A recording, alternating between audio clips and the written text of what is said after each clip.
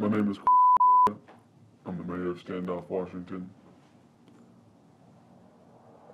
I've been presiding mayor of Standoff for 23 years.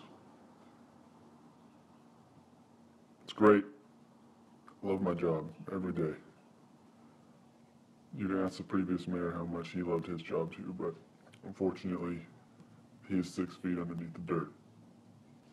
Some people say Standoff has no laws. I say those people are wrong. Standoff has plenty of laws. All two of them. Bring your own beer and bring your own shovel. You'll find out what the shovel is for later. Some people say I am ill fated. I say they better start digging. That's why you bring the shovel. When I was a boy, I saw my father and my mother making love.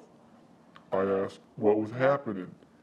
They said that they were creating the new mayor of Standoff to defeat me. This was last weekend. Ask me if I've ever hit a baby. The answer is yes. We here in Standoff believe in the principle of standoff.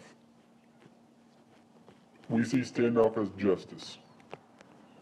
Those who do not agree will surely face the price. Those who do, those who do not agree will surely find themselves in a standoff against me, current mayor Standoff, Washington.